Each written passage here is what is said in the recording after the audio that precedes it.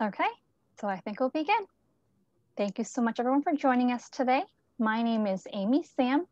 I am the Health Education Project Specialist at the Maxwell and Eleanor Blum Patient Family Learning Center at Mass General Hospital. Today's program is a special collaboration between the Blum Center and Mass General Corrigan Minehan Heart Center. Before we get started, just want to go over a few items with you all. Please note that today's program is being recorded for educational purposes if you're interested in viewing the recording, you may visit the Mass General Blum Center website at massgeneral.org forward slash hyphen Blum, I'm sorry, slash Blum hyphen center. Please note that everyone is in listen only mode. Everyone has been muted so that we can hear our guest speaker today. If you have any questions for our guest speaker, please use the chat feature, which, which is located at the bottom of your screen. We'll have time for them in the end. Only Blum Center staff and the guest speaker will see your questions. Please do not share any personal medical information or questions in the chat box. If you have a personal medical question, please ask your doctor. You can pull up your slides. So next, I would like to introduce you all to Dr. Doreen DeFaria. Dr. DeFaria is the Associate Director of the MGH Adult Congenital Heart Disease Program. She is also the co-director of the MGH Cardiovascular Disease and Pregnancy Program and program director of the Cardiovascular Disease Fellowship. She is board certified in internal medicine, adult cardiovascular disease, and adult echocardiography. She joins us today to give a presentation on the anatomy and long-term management of a complex congenital heart condition called tetralogy of Fallot. So please join me in welcoming Dr. DeFaria. Great. Thank you so much, Amy. It truly is such a pleasure to be speaking with you all today. As Amy mentioned, my name is Doreen DeFaria. I'm a cardiologist at Mass General Hospital. I focus on um, seeing patients who were born with heart conditions in our congenital heart disease program. And I also focus on seeing women who are pregnant or postpartum with cardiac disease in our cardiovascular disease and pregnancy program. It really is such a pleasure uh, to talk today. I'm going to be talking a little bit about a, a common congenital heart condition called tetralogy of Fallot. You may know someone with this condition, you may have it yourself, um, but hopefully we can learn a little bit today about why it's just so important for long-term cardiovascular follow-up for patients born with tetralogy of Fallot. Before I begin, I want to extend an extremely um, heartfelt thank you to a terrific and wonderful foundation, charity organization called Heartfelt Dreams Foundation. This foundation was created by um, a, a, patient and special friend of mine and her husband, Lori and Eric Ankerud. And they have done just a tremendous, tremendous job and service to our congenital heart disease patients in the recent years um, in starting this foundation, and that they have helped to support bringing heart, congenital heart patients to ACHD centers such as the Mass General ACHD Center, so that they can receive specialized congenital heart care from people who are expert in the field. And their foundation supports help not only in transportation to appointments, but accommodations, emotional support, support for our cardiac nursing staff, and support for our pregnant patients with cardiac disease as well. So we're extraordinarily thankful for all of the hard work um, from Eric and Lori and the tremendous support of Heartfelt Dreams for our congenital heart disease population. So what will we talk about today? Well, we'll take a little bit of a step back and we'll just review what does it look like to be a congenital heart disease patient in the United States in 2021. Congenital heart disease really is defined as any abnormality of the heart that someone is born with. And this could be as simple as a small hole in the heart to as complicated as very severe abnormalities of the heart muscle and valves. So we'll take a step back and talk briefly about ACHD, adult congenital heart disease in the United States. We'll focus a bit on tetralogy of Fallot, which as I mentioned is a common congenital heart condition. We have many, many hundreds of patients we care for on a daily basis in our program with tetralogy of Fallot. We'll talk about why it's important for these patients who have surgeries that are corrective as children to continue to follow with a cardiologist as an adult. And what are the things we look out for as adult cardiologists? We'll talk a little bit about implications in pregnancy and then review some of the surgeries and procedures that could be needed for the adult patient with tetralogy of Fallot. So again, just take a step back. I include this slide in many talks that I give about any form of congenital heart disease. Again, a condition that one is born with, some abnormality of the heart muscle. This is a graphic published in the 1960s, looking at children born with various types of congenital heart problems. On this axis over here, this is the percentage of death, and this is the mean age in years. So what you'll see is that normal patients with born without any cardiac congenital problems, in the mid 1960s, more than half of them should have survived to be 70 years old or older. You'll see with any form of congenital heart defect, before it is repaired, if it goes uncorrected, the life expectancy of an individual with congenital heart disease is reduced. And you'll see before the era where we could surgically correct and treat tetralogy of Fallot, 50% of kids born with tetralogy of Fallot died by the time they were 10 years old. Sorry, Thankfully, sorry to, to interrupt. I'm oh, so sorry. Um, no I don't see your slides on the screen. Oh, oh okay. Um, sorry about that. Um, I see them here. Are you not able to see, see any of the slides? No. Hmm. Okay, let me go back and um, me reshare the, um, let me reshare the slide. Sorry about that. I didn't realize. Um, let me just go back.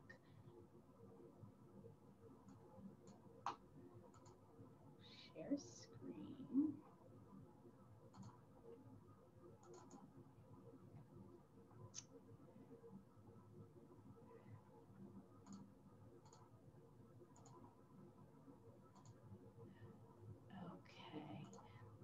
Again to share the screen.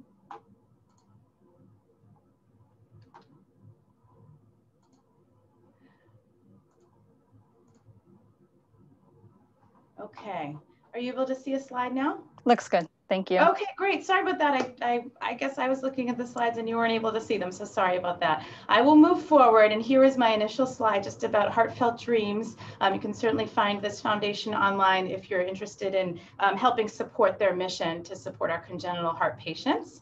I did review the objectives of what we'll talk about today, and I was on this graphic, so we hadn't gone too far.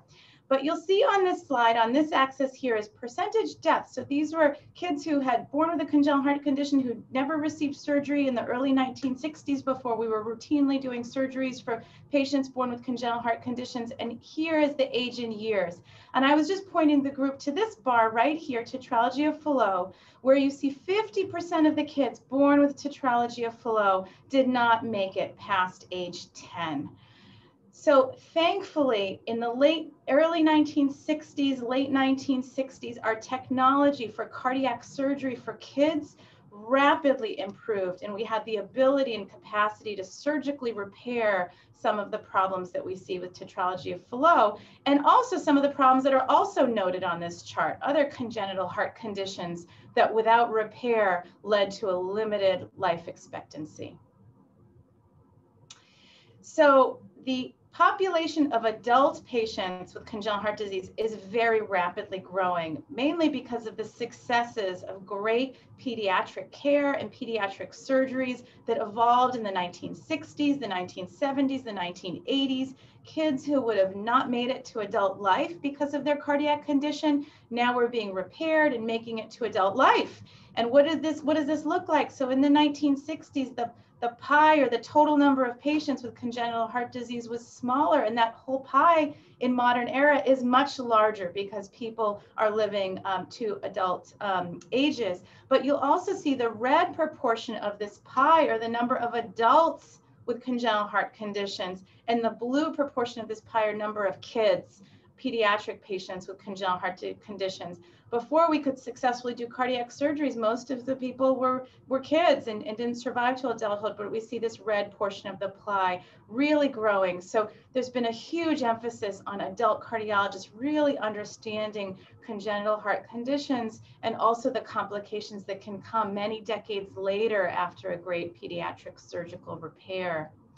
This is a graphic, and all you have to take from this is the growth over the years. This is healthcare cost, spending, hospital admissions among the congenital heart disease population. So with this growth in the number of adult patients who now have repairs of these complex conditions, we also see more people coming to the hospital needing procedures and the healthcare costs associated that with that are increasing. And so all we can do to really anticipate the problems that could arise in adults, prevent hospital admissions, get people you know, taken care of as early in the process if a complication is starting to arise really can save our healthcare system many billions of dollars, as you can see here. And then how do we do as adult cardiologists and thinking about congenital heart disease? Well, this is a graphic looking at how trainees do on the cardiology board exams. And, and a lot of these topics here are topics that are common to adult cardiology, coronary artery problems, heart failure, valvular heart problems. But the congenital heart disease section, you see that people tend to do less well on tests. Um, on, on, and so it's really emphasized that we have a great need to better train adult doctors in some of these pediatric conditions now that these patients um, really thrive and do so well as adulthood. And this is an area of strong focus of our group is educating doctors, educating patients, educating people about congenital heart defects so that we can ensure patients are getting the best possible care for their congenital heart disease. This is a graphic that's a little complicated, but to try to um, simplify it, this in this axis here, this is looking at patients who receive care in specialized ACHD centers. And this is over the years, 1990s to 2015. When patients were referred to ACHD centers, we see that the rates of death from complications related to congenital heart disease decreases. So the more patients who are seen by specialists and experts in this field, the better survival, the lower rates of death, the lower rates of complication. And you know, for some patients who live far from ACHD centers, it may not be easy to get to a specialized um, center. Um, they, they, they're not, you know, all, all over the place across the United States. So identifying local areas of expertise really is impactful in ensuring we're providing the best possible outcomes. Um, and this is another slide just again showing that patients who go to referral centers have better survival. So this is looking at how well people do than patients who may not necessarily have the opportunity for care um, at a referral ACHD center. So we do our best to try to get experts in this field out into our communities, identifying patients who really um, have complex congenital heart needs figuring out how we can offer as much help and expertise in their local communities um, and then bringing them to our centers whenever we have uh, the need and opportunity when they need procedures or testing. And this is just a little graphic. Again, as I mentioned, not everywhere in the world has specialized ACHD centers. We're very fortunate in the Northeast that there are many centers around us here, but not the case in a lot of the United States. So we have a long way to go to educate doctors, cardiologists create these centers where there's expertise in congenital heart disease care. So let's now talk about this common condition, tetralogy of Fallot. So before we talk about the abnormal heart with tetralogy of Fallot, let's just review and talk a little bit about the normal heart and what normal circulation looks like. This is a graphic of a normal heart here. And you'll see the normal heart, as you probably all remember from schooling, has four chambers. There are two top chambers that fill with blood called the atria, and there are two bottom chambers that pump blood out called the ventricles. The right side of the heart normally receives blood from the body after the body has extracted out all that oxygen. We need oxygen in the muscles to run around and do the things we need to do. We need oxygen in the brain to think. Our kidneys need oxygen. And so all of those organs extract out oxygen from the blood, and that blood that has had the oxygen extracted, we call that blue blood without oxygen, comes to the right side of the heart, the right atrium filling chamber, the right ventricle pumping chamber, and goes out the pulmonary artery to our lungs, one on one side, one on the other. So then we give that blood without oxygen to the lungs, and the lungs' job is to oxygenate, bring oxygen to that blood, Now that blood becomes red blood in this picture, filled with oxygen, ready to do its job in, in providing energy to the body. That blood comes back into the heart on the left side, that filling chamber, the atrium, the pumping chamber, the ventricle, and goes out the aorta. The aortic valve is labeled here, the aorta, that brings this blood with oxygen to our whole body, our brain, our arms, our legs, our kidneys, for all of those organs to utilize blood with oxygen. So again, the right side of the heart receives blood without oxygen that's all been used up by the body, pumps it to the pulmonary artery, delivers it to those lungs. The lungs then provide oxygen. It comes back to the left heart here and gets pumped out to the whole body again with oxygen. So this is the normal heart circulation where there's a nice separation of the red blood and the blue blood and each side of the heart does its own job to get blood to the right place and where it needs to go. The heart's a complicated structure. You see there are lots of valves, there are lots of chambers. And with that, when the heart is developing in utero, in mom's belly, and that baby is developing, there are a lot of possibilities for things to go wrong in the heart's development. Sometimes holes can develop in between some of these chambers. Sometimes valves might not develop normally. And that can all impair how we get blood to the lungs and how we get blood to the body. So let's get to tetralogy of Fallot. This is a depiction that was published in the New England Journal about 21 years ago now. This is a really uh, great review paper that had beautiful images here. And this is a depiction of a heart with uncorrected tetralogy of Fallot. This is the anatomy that people are born with. Tetralogy of Fallot is actually quite common, about one in 3,000 live births.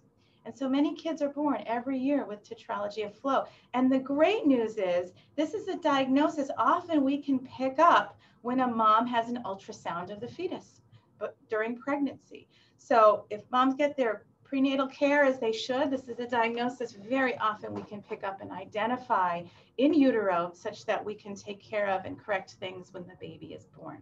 Well, what is the tetralogy? It's four problems of that heart anatomy. One problem is there is a hole in between the bottom two pumping chambers. And you can see this can allow blue blood without oxygen to mix up with red blood with oxygen on the left side of the heart. And that mixing of blood may actually allow blood that flows out the aorta to have less oxygen than it's supposed to. And so people, when kids are growing with blood going to their body that has less, less oxygen than what is normal, they can often feel fatigued or tired when they exercise, or maybe their organs don't grow quite as well. And these are some features that we may see in kids who have uncorrected tetralogy of Fallot. So the hole in the heart right here in between the bottom two chambers, is also called a ventricular septal defect. So these are the two ventricles. The septum is the tissue in between and a defect means a hole. So ventricular septal defect or VSD is this hole in between the bottom two chambers. We also will see a narrowing of the pulmonary artery. And that's this valve and artery right here. Remember the pulmonary artery brings blood flow, that blue blood flow to the lungs. Well, with tetralogy of Fallot, this area is quite narrowed. And so not as much blood flow can actually get to the lungs. And that can be a problem in the lung development for these kids. So we call this pulmonic stenosis. As a result, stenosis meaning narrowing or blockage. As a result of this pulmonic stenosis or narrowing, the heart muscle, this right ventricle underneath, will get thicker to try to accommodate to that higher pressure because it's pumping against this narrowing. So when the heart muscle gets thicker underneath, that's called hypertrophy, just means thickness of the muscle. So right ventricle hypertrophy or thickening that comes as a consequence of this narrowing of the pulmonary artery or pulmonic stenosis. And then the last feature is what we call an overriding aorta. So the aorta is that tube that is supposed to bring nice red blood filled with oxygen out to the whole body. So that body, that aorta can deliver blood with oxygen to the whole body. Now remember, this aorta is now receiving a little bit of blue blood because of the hole here. And because there's a hole here, it kind of sits a little bit over both ventricles, and that's the overriding piece. It sort of doesn't really know where to sit. It's kind of overriding or sitting over both ventricles. And as a result, it receives some red blood, it receives some blue blood that all goes out to the body. And the oxygen levels for babies born with tetralogy of Fallot is low. And that may be one way that the diagnosis can be made after birth if it's not made with an ultrasound before birth. So these are the four parts of tetralogy of Fallot. Tetralogy means four parts. Dr. Fallot is the doctor who originally wrote about this constellation of findings many, you know, hundreds of years ago. So these four pieces are the ventricular septal defect, the hole in the heart, that overriding aorta, it sits over that hole, the pulmonic stenosis or narrowing of the pulmonary artery, and then the right ventricular hypertrophy or thickening of that heart muscle. So again, these babies are born with low oxygen levels in their blood as a result of this anatomy. So many years ago, before these kids could be corrected with cardiac surgery, back in the 50s and the 60s, even in the 70s, our technology with cardiac surgery wasn't really great enough to put small, tiny little infants under heart bypass and fix these. So we had, if it was even diagnosed, we often had to wait until kids were a little bit older and bigger before they could undergo and, and tolerate a cardiac surgery. Well, what happened to those kids? Well, again, they had low oxygen levels, and that really could impact them when they were exercising, running around the playground. They really wouldn't feel good. Maybe their lips would turn blue or their fingers would turn blue. Maybe their body would build up a little bit of fluid because that fluid wasn't moving around in the normal circulation as it should. Maybe they would have abnormal heart rhythms, meaning their hearts would start to beat very fast because of some of these abnormalities. But you know, kids are so smart and they often can recognize, you know what, I'm not feeling good. What can I do to make me feel better? And it turns out we used to see lots of kids who, while they were running around on the playground, they would squat down to feel better gosh, what, what happens in the body when we squat down that would make them feel better? This is some, you know, early pictures of these kids who would squat down to try to feel better. Well, when we squat down, the pressure in the aorta actually rises up a little bit. That pressure rises up in the left ventricle a little bit. And there's a little bit less blue blood going to the left ventricle because the pressure in the left ventricle is a little higher. So in fact, when these kids were squatting down, they were really smart. Their oxygen levels increased just a little bit because with squatting down, they could prevent a little bit of this blue blood going into the aorta. Isn't that fascinating? So years ago in the 60s and early 70s, often cardiologists, if they made a diagnosis of tetralogy of Fallot, they might wait until those kids were big enough to kind of run around the playground, start squatting down before they actually thought, all right, well, now it's time to do that surgery and, get, and put them under and, and expose them to a risk of a heart surgery. But they knew that if kids were squatting, that meant that they weren't feeling good, that, that they were, their oxygen levels were low enough. It really was impacting, um, impacting them. So really fascinating physiology. So other things that were done many years ago before kids were able to undergo a full correction was you know, if we remember, part of the problem was there's not enough, there was narrowing of the pulmonary arteries. So there's not enough blood flow to the lungs.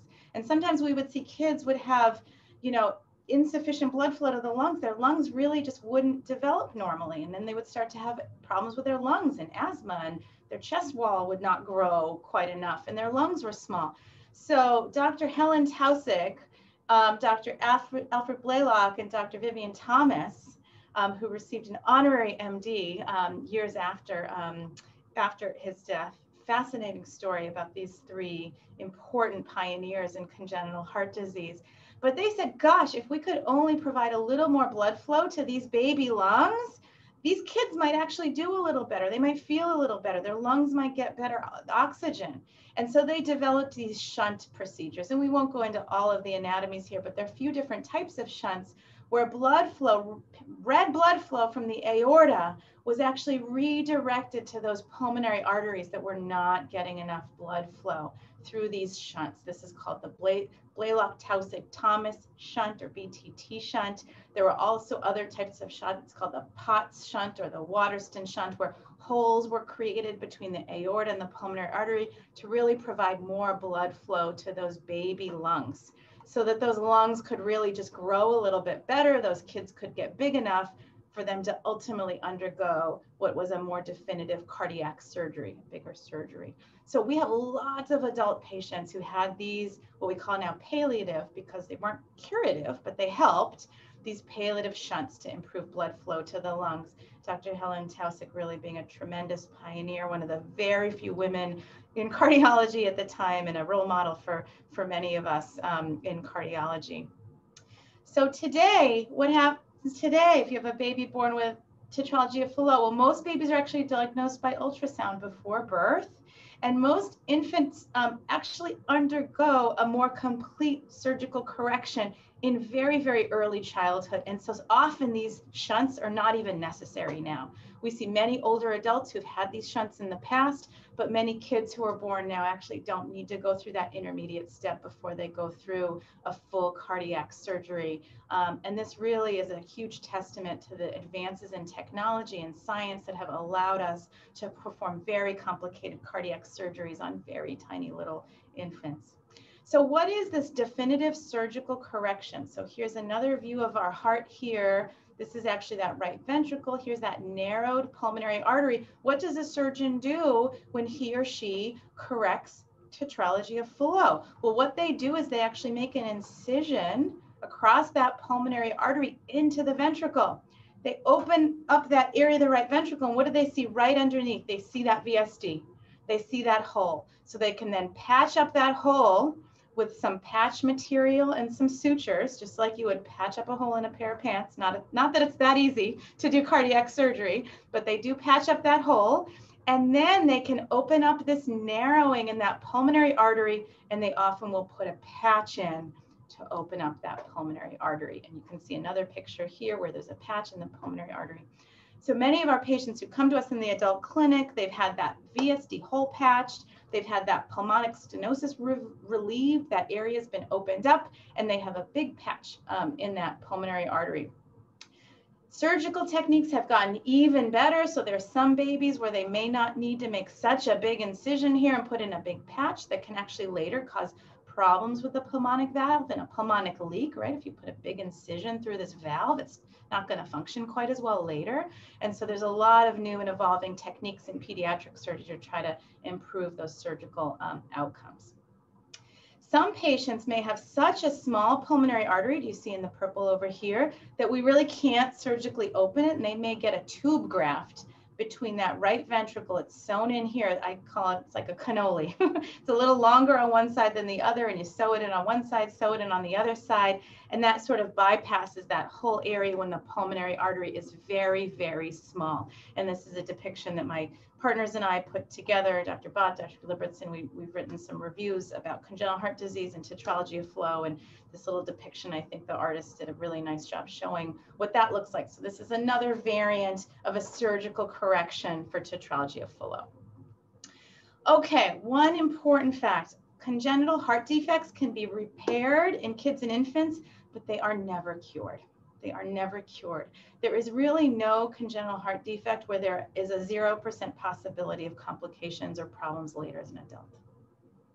So we as adult cardiologists who take care of patients who have these pediatric surgeries, we always have to be on the lookout for things that could develop or arise later. And what are those things in adult patients? Well, residual leaks around some of those patches. Sometimes, you know, you're sewing in this patch, this tiny little baby heart, that heart's going to grow over time and maybe that patch isn't big enough and there could be little leaks around it. There could be re recurrent narrowings that develop along the pulmonary artery and that narrowing can redevelop. So we have to look carefully on our ultrasounds and our tests to look for these things because they can be very hard to diagnose and pick up with some of our standard um, ultrasound views a very common thing, a leaky pulmonic valve, a leaky valve. We call it pulmonary regurgitation. Regurgitation is a echo term for leak, um, but leaky pulmonic valve, very, very, very, very common in adult patients. Also very easy to miss this on ultrasounds of the heart. If you're not trained to really look carefully in this area, we spend a lot of time teaching our cardiology trainees about how to really well evaluate the pulmonic area. So leaky pulmonic valve is really common important problems with that right heart pump, that right ventricle, it can get enlarged and importantly, it can get weak. I too often see adult patients with tetralogy of Fallot who've had leaky valves or things come to us once their heart pumps are already really enlarged and really weak. And I really wish we had met them earlier. There are lots of things we can do to prevent heart pump enlargement and weakness if we intervene or think about these things early enough in the process. We often see patients who their right heart's gotten bigger and bigger and bigger and bigger over the years to the point where it's gotten weak. And the weakness of a heart pump is a very hard thing to fix. We can open blockages of coronaries. We can open blockages of valves. We can replace valves. We can replace narrowings in areas, but replacing a heart pump is a heart transplant.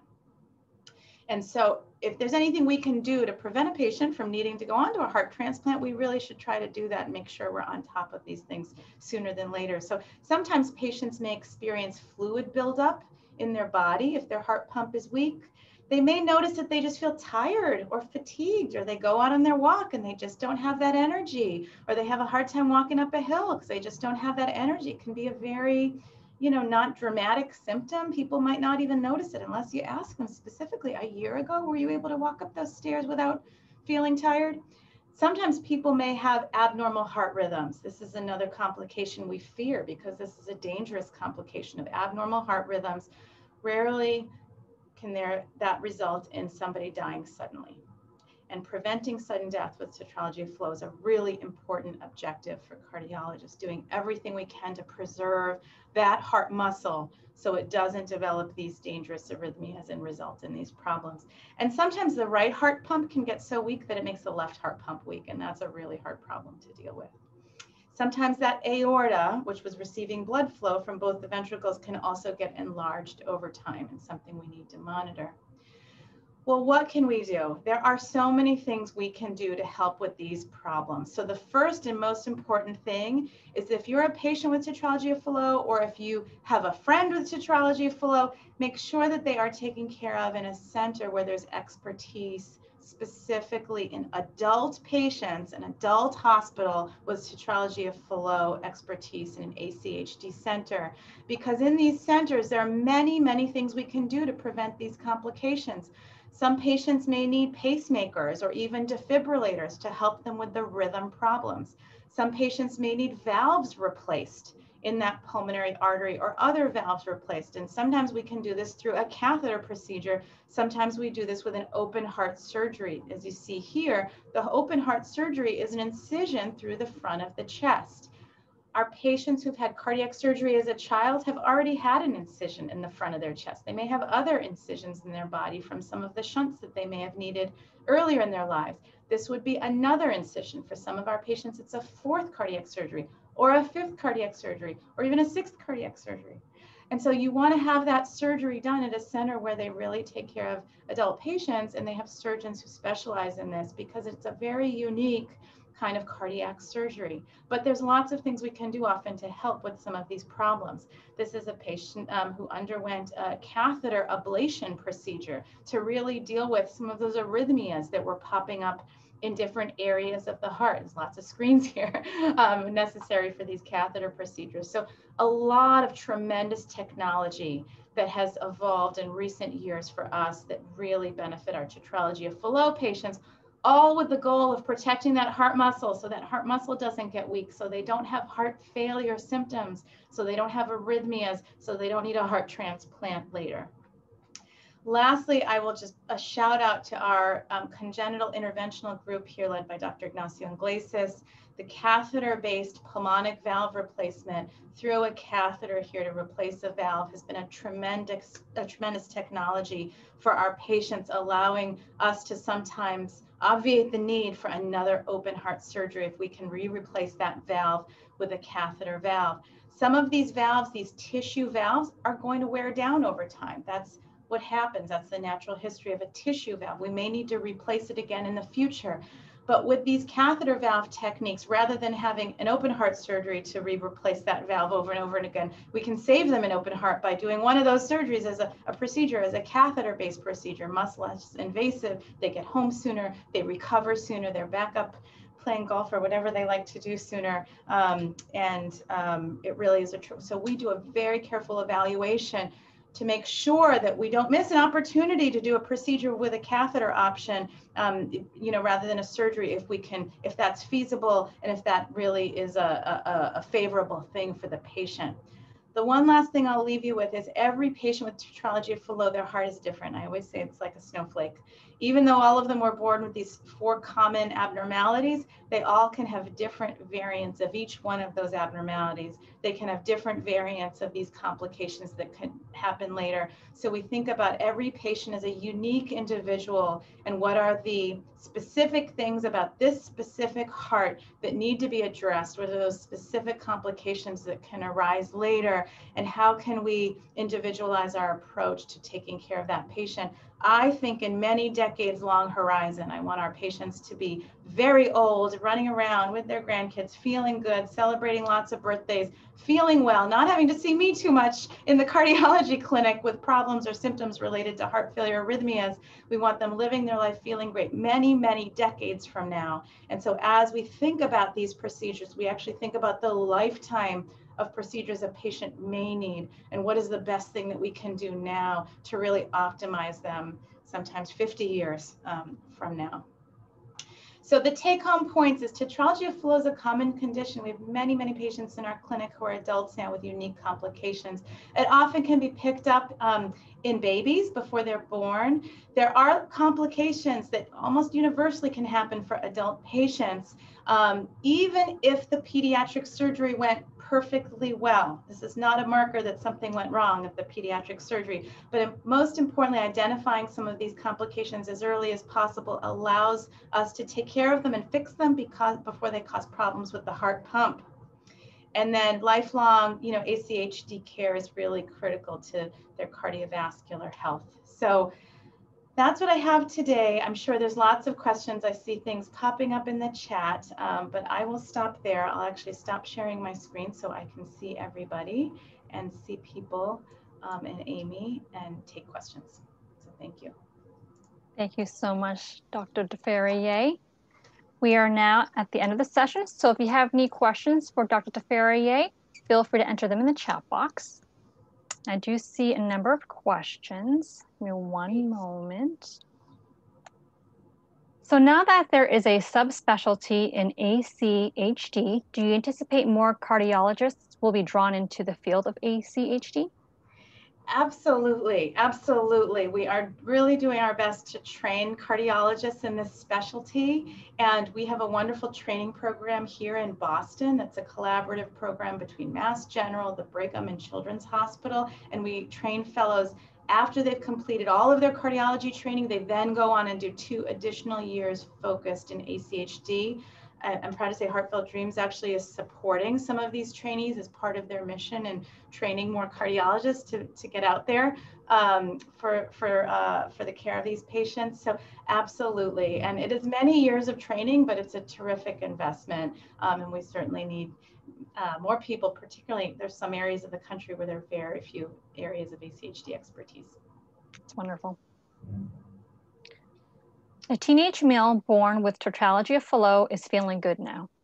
Why does he need to see a cardiologist at this, at oh, this stage in life? That is such a great question. I see that's coming uh, from Eric Anker. That's a, such a great question.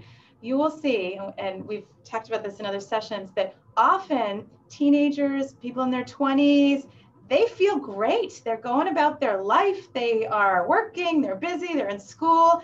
Why do I need to see a cardiologist? I feel really great. Well, interestingly, some of these complications that we see, particularly leaky pulmonic valves, develop far before patients have symptoms. By the time patients often have symptoms, we tend to see that ventricle has gotten quite big and maybe even the pump function is reduced. So seeing a cardiologist when you're feeling great allows us an opportunity to pick up, is there a leaky valve? Is there a residual hole in the heart? Is there some narrowing that we should follow carefully so that we know when is the right time to intervene and we don't miss the boat? Sometimes if we wait till patients really are feeling lousy and they come in and meet us, this happens all the time, by the way, often we find that their heart is really big, it's not working great. They may have other things going on that they didn't realize, and the correction or uh, at that point is more complicated. So We often don't need to see patients all the time or even every year, but every couple years when they're feeling well, they're feeling great, we might check their exam and their echo and just make sure that they're not developing a complication that they're not going to feel and they, they don't know about. Okay, so it's helped to monitor. What testing is ordered for adult tetralogy patients to help determine if surgery may be needed? Great question. So there, again, this is highly individualized, but most patients, the standard of what we do is ultrasounds of the heart or echocardiography. These should be done by sonographers or ultrasound technicians who are specialized in congenital heart disease sonographers who have this expertise can actually pick up some of these nuances that may not be found in standard ultrasound views. So the echocardiogram is our foundation for screening complications. Often we will do an EKG or an electrocardiogram where there's, you know, stickies on the chest and we get, but that may not be enough to screen for arrhythmias. So occasionally we might need to do a monitor of some sort. Now we have nice easy monitors that are patches we can throw on. They're less bulky than our older monitors. Occasionally, we might need to do a cardiac MRI. If the echocardiogram shows us that there's a problem that's developing, particularly if it's affecting the right heart pump, we often can get a lot more special, a lot more specific information from an MRI. I start with the more simple things, physical exam, taking a good history from the patient on how they feel, start with an echo, and then decide what else they might need. And not everybody needs all these things, you know, certainly not every year, but a good physical exam is, is important um, at least every year or at most every two years. Mm-hmm. And are all these tests non-invasive? So these tests that I mentioned are non-invasive. If we find abnormalities and if we think somebody might need to have a surgical procedure, then at that point we might need to do an invasive catheter test to measure pressures or get other information we might not get from a non-invasive test. But we usually only reserve that when people are in need of, we think they're in need of a procedure. And that helps us to really identify um, everything we need to know before we go into an invasive procedure. So occasionally catheterizations are necessary, but for most patients, the screening is with non-invasive testing. Okay. And then can a tetralogy condition corrected as an infant worsen in adulthood?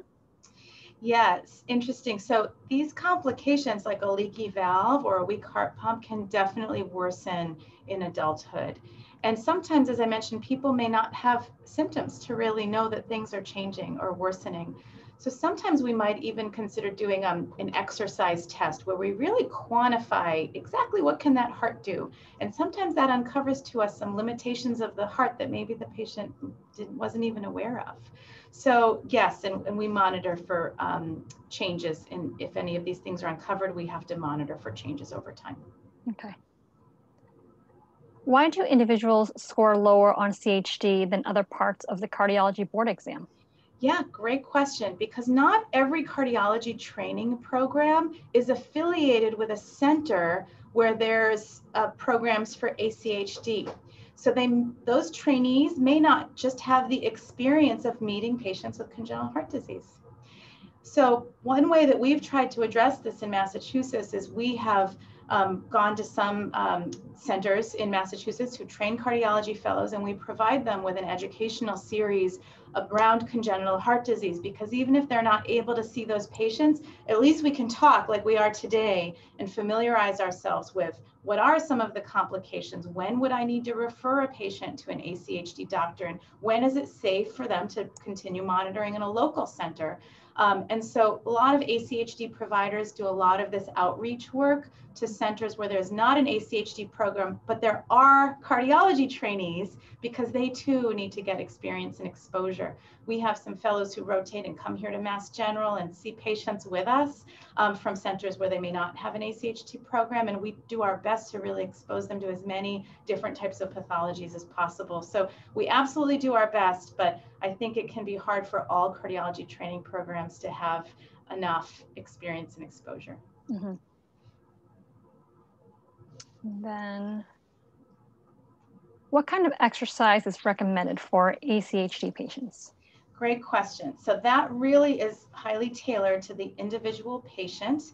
Some patients who have problems with arrhythmias or weak heart pumps we may give them an exercise prescription that looks a little bit different than people who do not have those complications.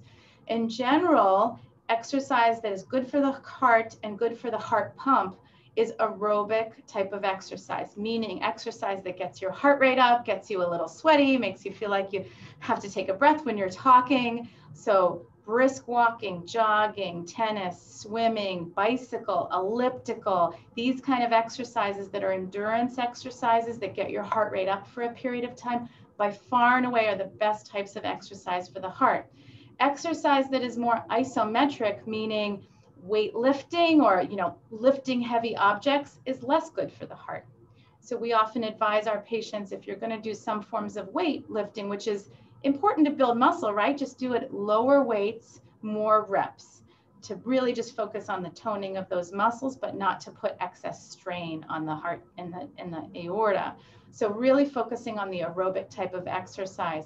The American Heart Association recommends five days a week of aerobic type of exercise. Now you don't have to join a gym and run a marathon five days a week or anything like that, but it's dedicated time for exercise above and beyond what we all should be doing in daily life, right? Walking up and down stairs and getting laundry and mowing the lawn and all of these things. That's part of our acti- activities of daily living. This is dedicated exercise, generally for about 30 minutes, whether that's taking a brisk walk or a jog or up and down stairs for, you know, a lot of things count, but doing it regularly is the most important thing. Mm-hmm. And that's such a great question. Before you start an exercise program. yes. That is a great question because we actually do have an upcoming Blum program scheduled for next month. I put it in the chat box yeah. on um, ACHD, how do we structure exercise programs in these unique populations. So stay tuned, hope you can join us. It's going to be in August, August 12th on a Thursday at noon, and I provide that Zoom link in the chat box. So you can join us. All right, so we have another question. How long is the wait to be seen at the clinic? That's a great question. We are, we are, uh, we have, we do ha- um, have a lot of patients right now who we are working to get in, new patients who we're working hard to get in to our clinics. We work um, with wonderful um, nurse practitioners, as Amy mentioned, who help to support seeing patients sometimes in between visits, in between their physician visits. And so, but the new patients are seen by our physicians in our program, and we do our best to create time and space whenever works for the patient. Sometimes we'll see patients from, you know, we see lots of patients from out of state or they're traveling far away. And when they come here to see us, we want to be as efficient as possible with their time. If they need a specialized MRI or if they need a specialized exercise test on the day of their appointment, we really try to coordinate that as best we can on one day um, and so we have to be a little bit flexible. But every Monday, we talk about all of the new patients that we're working to get into the clinic. And for some patients, it's not urgent that they're seen next week. It may be that their appointment is a few weeks or even a month or two from now. And that's okay because they've had, you know, the testing they need and it's not urgent. But people who need to be more urgently, we, we fit them in. We really, we're doing our best. So to get people in. And then can you talk about how a small hole may be left in the septum during the surgery for infants? Is this common?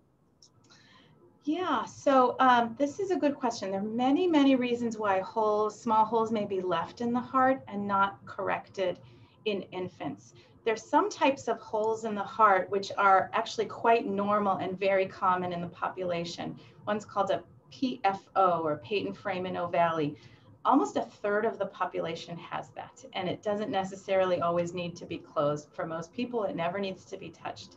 And so there's some situations where a surgeon and, their, and the cardiologist make make an assessment that things that don't need to be touched aren't touched. Sometimes um, if holes are identified they're patched at the time of surgery this is why we like to have as much information as possible before the surgery so there are no surprises in the operating room um, Sometimes holes are patched and later in life a little hole might open up around the patch.